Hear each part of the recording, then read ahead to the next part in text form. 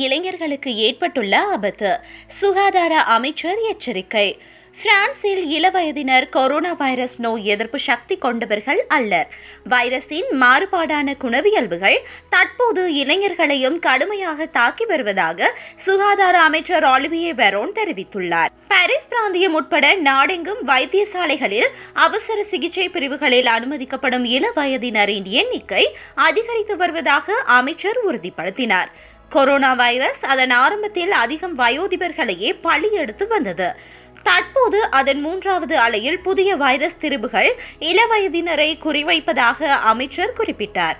வீடுகளிலும் பொது இடங்களிலும் விழிப்புடன் விதிகளை கடைபிடிக்குமாறு அவர் இளைஞர்களை கேட்டுக்கொண்டுள்ளார். இதேவேளை தற்போது கட்டுப்பாட்டின் கீழ் இருக்கின்ற பதினாறு மாவட்டங்களுடன் மேலும் மூன்று மாவட்டங்கள் புதிதாக சேர்க்கப்படுகின்றன என்று சுகாதார அமைச்சர் அறிவித்தார். குறித்த மூன்று மாவட்டங்களிலேயே பொது முடக்க கட்டுப்பாடுகள் வெள்ளிக்கிழமை முதல் அமலுக்கு வருகின்றன. தொற்றின் வேகத்தை கட்டுப்படுத்துவதற்காக பாடசாலைகளை விடுமுறை தினத்திற்கு முன்பாகவே நேர காலத்துடன் மூடுமாறு கோரிக்கை விடுக்கப்பட்டுள்ளது. எனினும் அது தொடர்பான முடிவு ஆக கடைசியில் எடுக்கப்படுகின்ற ஒரு முடிவாக இருக்கும். பாடசாலைகள் மூடப்படுவது தொடர்பாக தாம் ஆராய்ந்து வருகின்றோம். முறையான நடவடிக்கைகள் ஒழுங்கமைக்கப்பட்டுள்ளன.